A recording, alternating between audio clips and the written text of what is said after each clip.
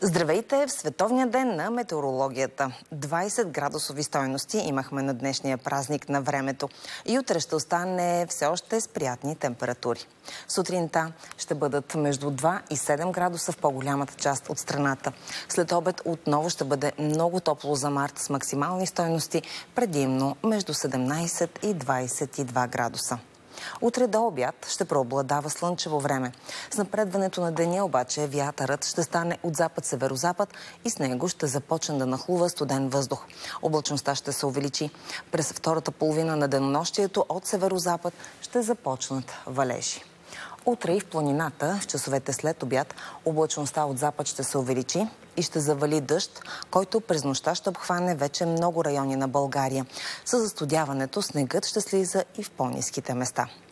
В нощта на неделя срещу понеделник и в понеделник валежи ще има на много места в България. Ще бъде ветровито и рязко ще застудее. Максималните температури в понеделник вече няма да бъдат 20 градусови, а ще са между 9 и 14 градуса. Хубавото е, че още в понеделник след обед валежите от запад ще спират, облачността бързо ще се разкъса и ще намалее. Във вторник сутринта ще бъде студено, ще има места със стойности под нулата, също и условия за слани. Но през деня, още във вторник, температурите бързо ще тръгнат нагоре. По BTV сега е време за бригада Нов дом.